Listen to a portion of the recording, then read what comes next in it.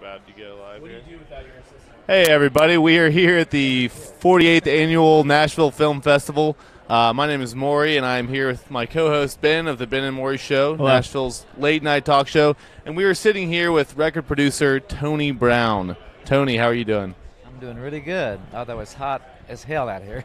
Well, it is hot as hell, and I'm wearing a sport coat, and, and uh, what you're wearing looks a lot more comfortable. I thought about I thought about that when I was coming over here. I was going to wear a jacket, then I thought, no, I shouldn't do that. It's going to be hot as hell. So I made the best decision. Well, and you look you look very cool too. I mean, a lot cooler than us. I think uh, Ben here has a, a list of your accomplishments. Tony, I have your list of accomplishments, rattle off. courtesy of your assistant. Uh, quick facts: over 40 years in the music industry, over 100 million record album sales, over 100 number one singles. Where do you get off? What do I get off? What you're sh- you're showing off here? I know it. It's like I'm impressed about myself. but you know, I, it was uh, I was lucky to be in the right place at the right time. Uh, we call the golden years here in Nashville from '89 to '97, and uh, that's when records were actually selling. So I'm glad my career was then and not starting right now because streaming has just almost demolished the uh, record business. Well, that's uh, we were just talking talking with uh, Stacy, um, and and talking about that film in the festival, The Last Songwriter, and all about how uh, it's just not really a viable career anymore to be a songwriter due to streaming in the music industry. Yes, I mean there's just so many, so many ways to get your money, and none of none of them are like at the same level.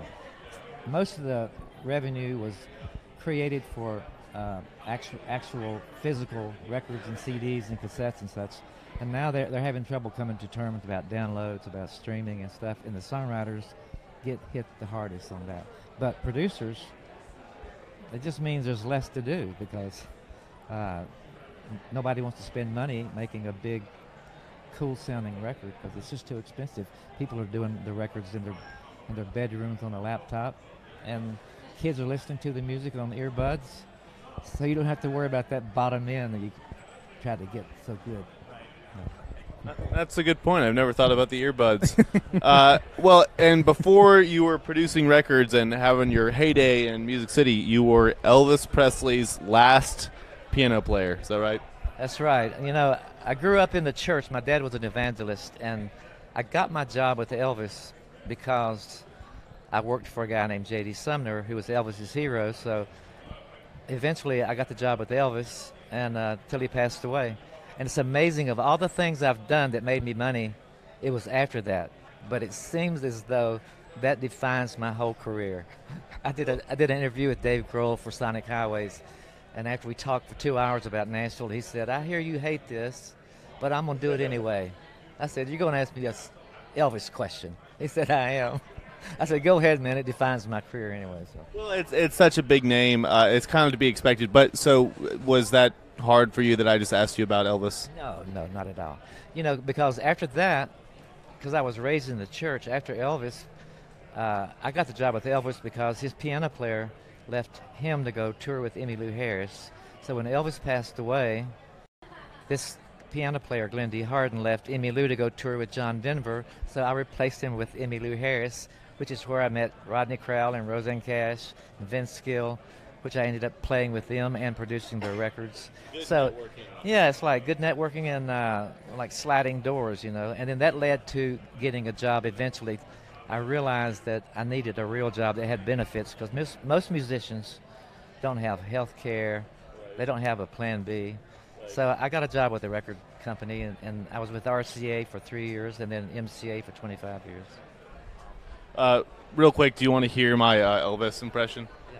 It's a thing. It's wise man said, only fools rush in. It's not bad.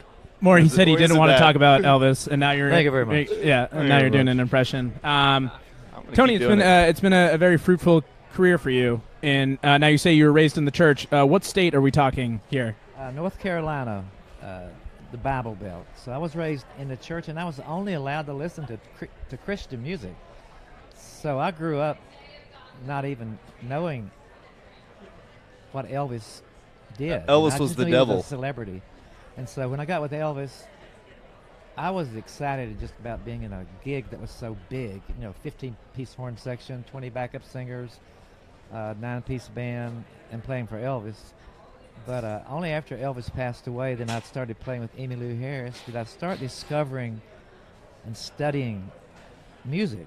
You know, Emmylou sort of turned me on to uh, who Elvis was. She said, "You know who you played for?" I said, "Elvis." She said, "No, I mean, there were all these white guys that were trying to do black people's music, and he was the one that made it. You know, he was so cool." Yeah, that that that was kind of his uh, claim. Uh, that's what was so amazing about him. I think when he first started out, that he sounded like a black guy. Is that is that right? That's right. You know, and uh, CMT and he gyrated. He gyrated. Well, black guys gyrate, right? I mean, he's the guy that everybody wanted to sing like black singers. I mean, even today, I mean, Ariana Grande tries to sing like Whitney Houston. Uh, you know, it's like everybody wants to. Black people are so free that they know how to let it go. So they really are. Uh, no one has ever said that we are behaving like black talk show hosts. We are about as wide as it gets, I think. Ben and I are, and and we're verging on inappropriate talk here, but we're gonna push through. I In the interviews, well, well, you know, my, one mind. of my favorite songs, pop songs, was "Play That Cajun Music, Black and White Boy." there you go. Uh, now you're let's let's get before we uh, talk any more about race.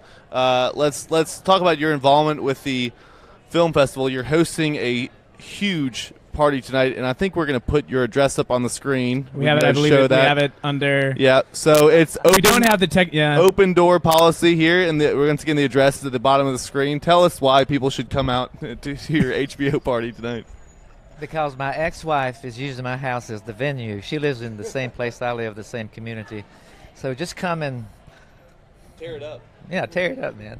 but in, in all seriousness, uh, we didn't get invitations to this party, and, and you know, I mean, we're we're we're, we're here slaving it. away. We're used uh, to it. You know, doing these interviews. It, was there uh, some sort of mix-up with the mail, or was it an Evite thing? What happened? I told my ex-wife to invite you guys, so it's not my fault. It's her fault. It's I her see fault. why you left her, Tony. Got a divorce. Yeah, that's it. Over you guys not being invited. So. hey, so Sharon, I believe is her name. Susan. Susan, get it together. I think we have her address up on the and screen as well. Yeah, we'll go and show right there now.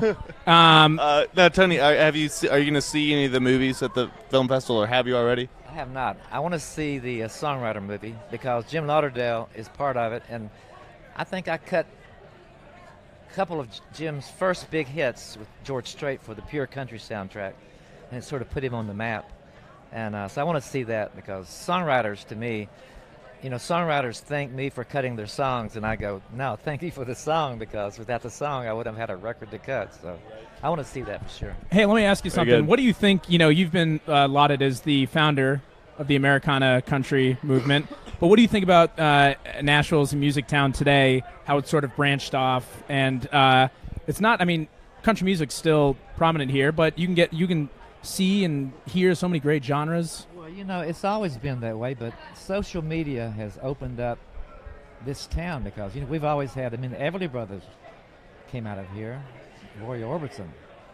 Uh, just a lot of things. You know, K- Kings of Leon lived here for like five or six years. A lot of great music, pop music, has come from Nashville, but now because of social media, I think everybody realizes it's really a songwriter's town, which attracts not just country music people, but any kind of people. Songwriters are the nucleus of uh, music, period. And I think that's what has made this town all of a sudden people go, oh, wow, there's rock and roll there. I mean, Meghan Trainor is out of here. Who would have thought? It's just. Well, now you're saying it's a songwriter's town, despite the fact that there's a film here uh, about how songwriters are a dying breed, maybe. Fleeing Nashville? Well, a dying breed only meaning dying because they're, they're not getting paid what they should be paid. You know, they're, so so I think songwriters have always been behind the scenes to a lot of people, and just in the last five years, I've noticed there's been lots of documentaries, lots of things that bring them out front because uh, some songwriters want to be in the background, but some songwriters really would like, uh, hey man, you're really good. you know, besides the money, they would like a little pat on the back because the guitar player plays a rock solo and the crowd goes wild. And then, uh, and then the guy that wrote the song says, "I wrote that song," and the person goes, "Sure, you did." Yeah, he goes home alone. That's goes home Yeah. Well, I think we're uh, just about out of time here. But uh, thanks so much for joining us, Tony. And uh, one more time, your ex-wife's address. I'm so sorry. What is Sharon? Well, I mean, look, we'll be you know the maitre d's at the party tonight if we could just get a Yeah, we'll- gosh we'll darn help invite. We could uh, we could park cars. Hey, I, I'm in trouble already, so I'm not going to tell you her name or where where the party's at. But it Okay. is, it's going to be a good party at HBO, so it should be pretty fun. Hey, real quick before we go, I do know your assistant wanted you to mention Jim. Who is Jim? Jim Lauderdale. Oh, Jim. So you already mentioned. mentioned you him. mentioned him. Good. Well, good job, Tony. you were on it more than we were. See you at the party. See you at the party. All right. Thanks, everybody. Thanks, Tony.